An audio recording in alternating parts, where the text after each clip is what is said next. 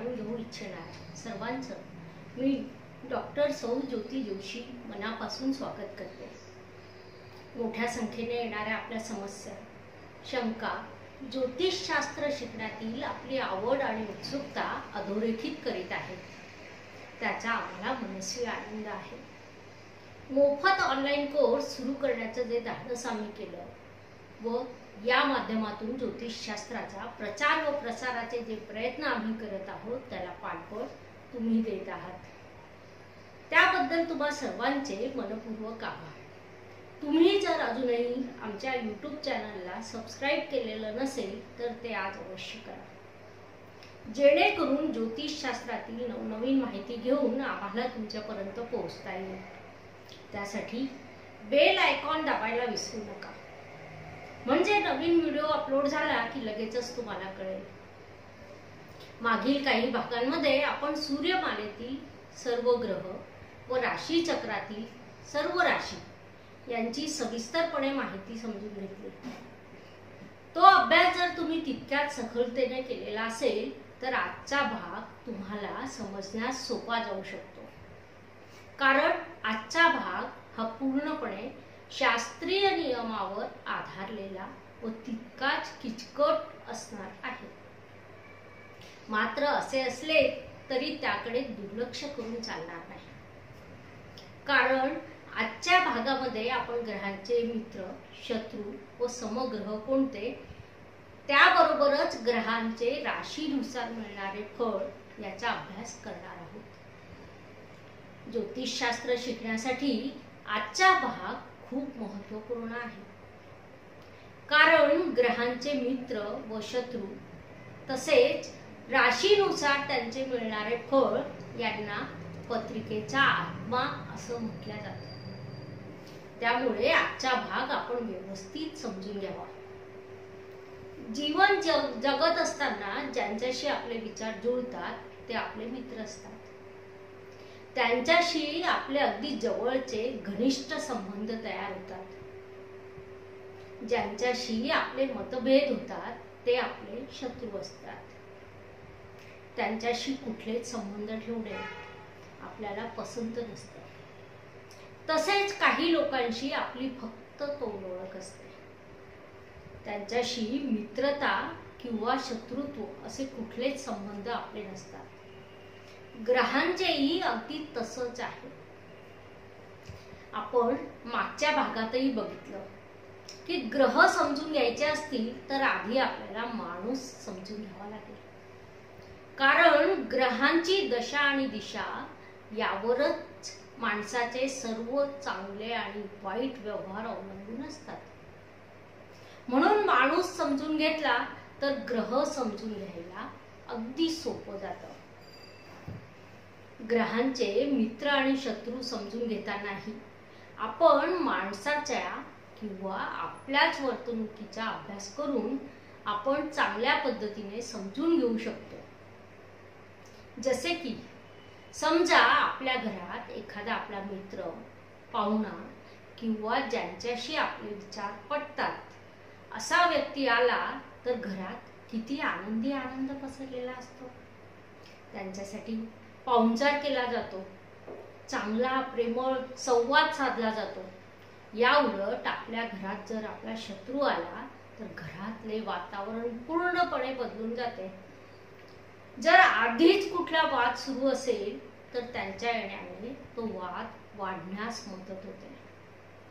असे पत्रिकेतील ग्रहांचेही आहे. पत्रिकेत जर मित्र ग्रह एका ठिकाणी आले तर त्यांचे अतिशय चांगले परिणाम किंवा फळ जातकाला मिळत असते.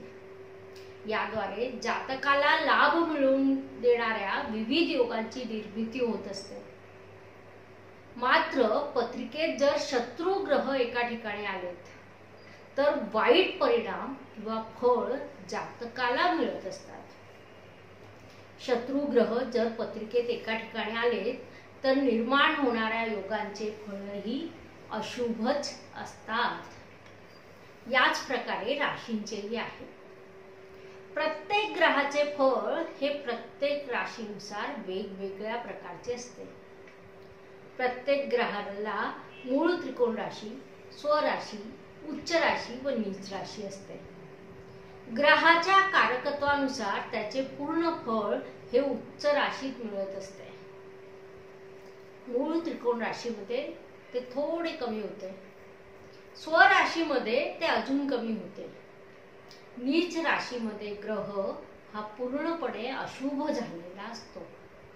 त्यामुळे या राशीत तो जातकाला वाईट फळे देत असतो.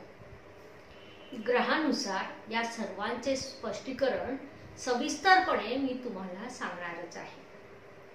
त्याचबरोबर आजच्या या व्हिडिओसोबत आमच्या श्री वैदिक आणि सायंटिफिक ज्योतिष संशोधन केंद्राच्या फेसबुक पेजची लिंक दिली आहे. या लिंकवर दोन वेगवेगळे तक्ते दिलेले आहेत. ते तुम्ही अगदी तोंडपाठ करणे अत्यंत आवश्यक आहे. त्याशिवाय तुमचा ज्योतिषशास्त्राचा अभ्यास पूर्ण होणार नाही. याशिवाय आम्ही आमच्या विद्यार्थ्यांना हे दोन्ही तक्ते पर्सनली व्हॉट्सअपवर दिलेले आहेत. हे दोन्ही तक्ते पाठ होतील तोपर्यंत माहिती समजून घेण्यासाठी तुम्ही ग्रहांची दोन दोन गटांमध्ये विभागणी करू शकतात एक मित्रग्रह किंवा देवग्रह व दुसरा शत्रुग्रह किंवा राक्षस ग्रह मित्र ग्रहांमध्ये रवी चंद्र मंगळ गुरु या ग्रहांचा समावेश होतो. तर शत्रू ग्रहाच्या गटामध्ये बुध शुक्र शनी राहू व केतू या ग्रहांचा समावेश होतो. दोन्ही गटांमध्ये समावेश असलेल्या ग्रहांचे आपापसात खूप चांगले जमते. म्हणजे मित्र ग्रहांचे आपापसात तर शत्रू ग्रहांचे आपापसात चांगलं जमत. त्यांच्यामध्ये एक प्रकारचा एकोपा बघायला मिळतो. हे दोन्ही गट फक्त तात्पुरत्या अभ्यासासाठी तुम्हाला उपयुक्त ठरू शकतात. सखोल अभ्यासासाठी तुम्हाला सोबत लिंकमध्ये दिलेले तक्ते पाठच करावे लागतील. आता त्याविषयीचे सविस्तरपणे वितरण आपण समजून घेणार आहोत. सुरुवातीला सर्व ग्रहांचा राजा म्हटल्या जाणाऱ्या रवी या ग्रहाविषयी आपण माहिती समजून घेऊया. चंद्र मंगळ व गुरु. हे तीन ग्रह रवीचे मित्र ग्रह आहेत. तर शनी व शुक्र राहू केतू हे शत्रू ग्रह आहेत. बुध हा ग्रह समग्रह आहे. राशींच्या बाबतीत सांगायचे झाल्यास सिंह राशी ही रवीची मूळ त्रिकोण राशी आहे. स्वराशी सुद्धा सिंह तर उच्च राशी ही मेष आहे. तूळ ही रवीची नीच राशी आहे. सूर्यमालेतील पुढचा ग्रह म्हणजे चंद्र होय. मनाचा कारक असल्यामुळे चंद्र हा ग्रह फार कोणाशी मैत्री करीत नाही. आणि फार कुणाशी शत्रुत्वही दाखवत नाही.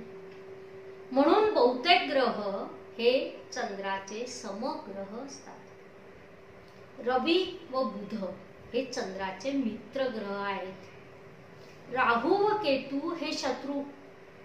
तर मंगळ गुरु शुक्र शनी हे समग्रह आहेत. राशींच्या बाबतीत सांगायचे झाल्यास वृषभ ही चंद्राची मूळ त्रिकोण राशी आहे.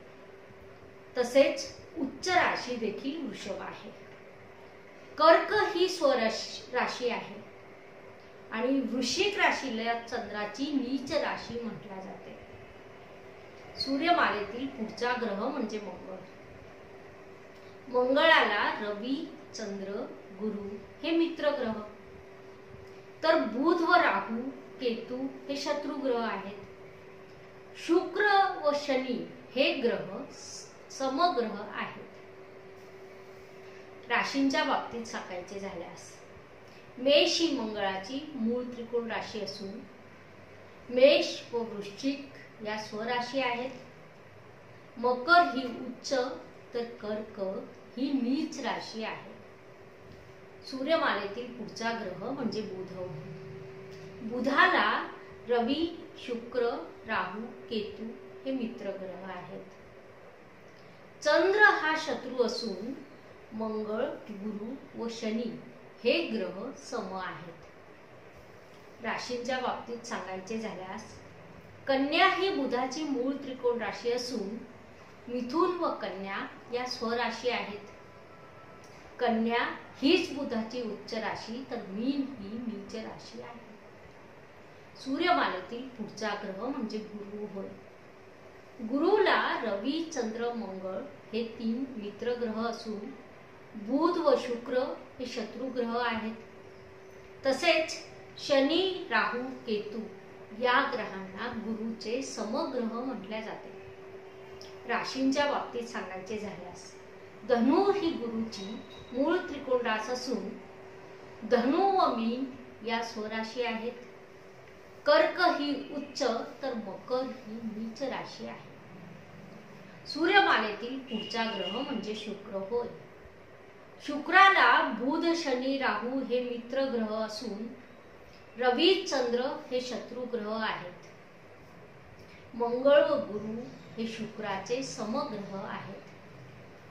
राशींच्या बाबतीत सांगायचे झाल्यास तूळ राशी ही शुक्राची मूळ त्रिकोण राशी आहे. वृषभ व तूळ या स्वराशी तर मीन ही उच्च राशी मानल्या जाते. कन्या ही शुक्राची नीच राशी आहे. सूर्यमालेतील पुढचा ग्रह म्हणजे शनी होय. शुक्र बुध राहू व केतू हे शनीचे मित्र ग्रह म्हणून ओळखले जातात. रवी चंद्र मंगळ हे शत्रू ग्रह तर गुरु हा शनीचा समग्रह म्हणून ओळखला जातो. राशींच्या बाबतीत सांगायचे झाल्यास कुंभ ही शनीची मूळ त्रिकोण राशी मकर व कुंभ या स्वराशी तूळ ही उच्च राशी आणि मेष ही शनीची नीच राशी आहे. सूर्यमालेतील पुढचा ग्रह म्हणजे राहू हा हो बुध शुक्र शनी हे राहूचे मित्र ग्रह म्हणून ओळखले जातात. रवी व चंद्र हे शत्रू तर मंगळ व गुरु हे राहूचे समग्रह आहेत. राशींच्या बाबतीत सांगायचे झाल्यास कर्क ही राहूची मूळ त्रिकोण राशी आहे. वृषभ ही स्वराशी तर मिथुन ही उच्च राशी आहे. धनु राशीला राहूची नीच राशी म्हटल्या जाते. सूर्यमालेतील पुढचा व शेवटचा ग्रह म्हणजे केतू होय. राहूप्रमाणेच बुध शुक्र व शनी हे केतूचे मित्र ग्रह असून रवी व चंद्र हे शत्रू ग्रह आहेत. मंगळ व गुरु हे केतूचे समग्रह म्हणून ओळखले जातात. राशींच्या बाबतीत सांगायचे झाल्यास मकर ही केतूची मूळ त्रिकोण रास वृश्चिक ही स्वराशी आणि धनु ही उच्च राशी. तर मिथुन ही नीच राशी म्हणून ओळखल्या जाते. ग्रहांचे मित्र व शत्रू तसेच राशीनुसार त्यांचे फळ समजून घेण्यासाठी एवढी माहिती पुरेशी आहे असं मला वाटतं. म्हणून आजचा भाग आपण इथेच थांबवूया. मी पुन्हा एकदा सांगते की या व्हिडिओ सोबत एक लिंक दिलेली आहे. विद्यार्थ्यांना नोट्स पाठवलेल्या आहेत. त्या लिंकमध्ये दोन तक्ते आहेत ते तुम्हाला अगदी तोंडपाठ करायचे आहेत. त्यासाठी तुम्हाला खूप खूप शुभेच्छा. पुढील भागात आपण ग्रहांच्या दृष्ट्या यांचा अभ्यास करणार आहोत. ज्योतिषशास्त्राविषयी एक एक विषयाचा आपण अभ्यास करीत आहोत. हे सर्व शिकण्यासाठी आपला उत्साहही वाढला असेल याची मला खात्री आहे. मात्र त्याबरोबरच हेही सत्य आहे की ही सर्व शास्त्रीय माहिती असल्यामुळे एकदा ऐकून तुम्हाला समजण्याची शक्यता कमी. म्हणून व्हिडिओ पुन्हा पुन्हा बघा. अजून चांगल्या प्रकारे समजण्यासाठी ही सर्व माहिती आम्ही नोंदणीकृत विद्यार्थ्यांना व्हॉट्सअपवर पाठवलेली आहे. शिवाय श्री वैदिक आणि सायंटिफिक ज्योतिष संशोधन केंद्र या फेसबुक पेजवरती लिखित स्वरूपात उपलब्ध आहे. तिचा लाभ घ्या. त्यावरून नोटबुकमध्ये नोंदी तयार करा. तुमच्या समस्या असतील शंका असतील त्या तुम्ही मला ऑनलाईनच विचारा. म्हणजे एकाच वेळी अनेक जणांना ती समस्या आणि तिचं निरसन समजू शकेल. पुढच्या व्हिडिओची वाट पहा. तोपर्यंत या व्हिडिओमध्ये सांगितलेल्या गोष्टींचा अभ्यास पूर्ण करण्याचा प्रयत्न करा. शुभम भवतु धन्यवाद.